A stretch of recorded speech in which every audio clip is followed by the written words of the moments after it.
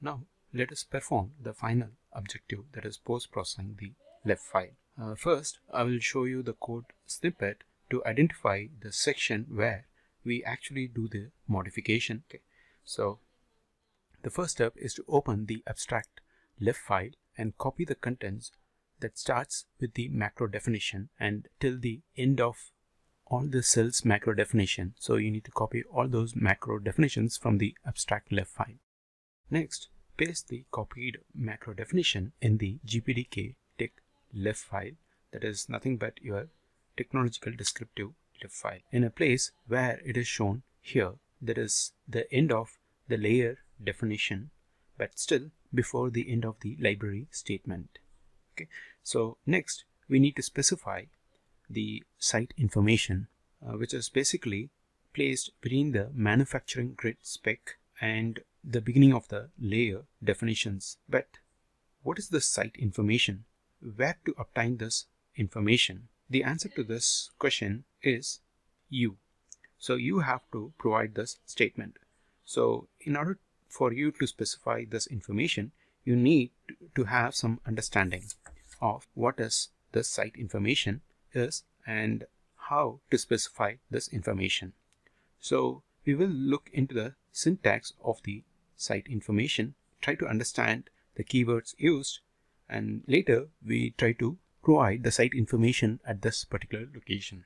As shown, the site information is contained within the keyword site followed by the site name and the end of the site name. Since we have all the cells under the common single site name named as core, here the site name would actually signifies to the site named as core. Next, we have to specify which class this particular site belongs. And you might have already guessed the appropriate class will belong to core category. The third line specifies the symmetry of the cells that belongs to the site named as core.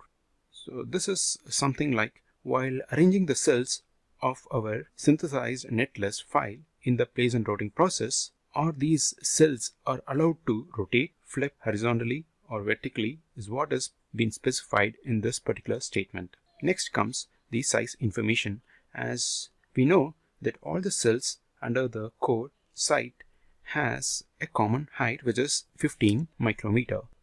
But the specification for the width might confuse you as different cells have different widths associated with them.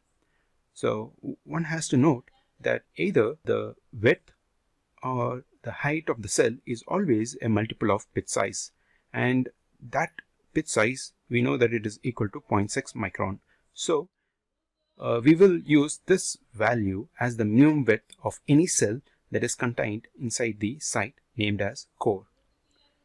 So our final code should resemble something like this. The site name is given as core and the size has a width of 0.6 and the height of 15 micron. And the class that this particular site core belongs is a core. And it, it has the symmetry as xy with the end statement here. Okay. So we'll put this site information between the manufacturing grid and the starting of the layer statement in our gpdk underscore tech lef that is nothing but our technology LEF file. So once this is done we can save this particular file. So I would advise you to follow all those four steps using a gedit editor in your Cadence server and then complete the LEF file generation process. Thank you.